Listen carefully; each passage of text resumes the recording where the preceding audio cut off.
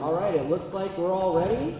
So now we'll be watching the sixth period students present, and they will be playing Satellite by Khaled. Now this features, this uh, piece features Sarah Lopez, Anika uh, Dooley Brooks, Amory Echeverry, sorry, I'm not good with last names.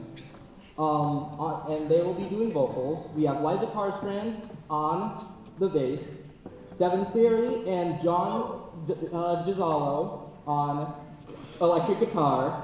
We have Tori Malone on uh, the glockenspiel, and we have Cody Wolfowitz on the drums. All right, take it away, guys. Oh, I almost forgot the most important, Alfred Bayabon.